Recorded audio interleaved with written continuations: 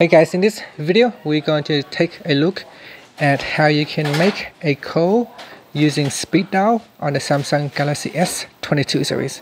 First tap on the home button to go back to the home screen and on the home screen open up the phone app.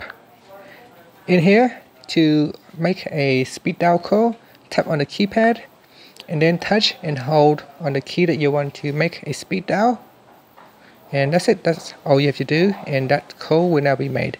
Now if you do not have a, a contact assigned to a speed dial number uh, you can do that by tapping on the option key at the top here. From the pop-up menu tap on speed dial numbers. And then in here we can assign a contact to a keypad number. So here you can see on the keypad number 3 currently it is empty. So we can tap on a name so choose, or we can select a contact from the contacts app. And in here, choose a contact that you want to use as a speed dial. So for example, I'm going to choose this one here, a pop. And then um, I'm just going to select a phone number.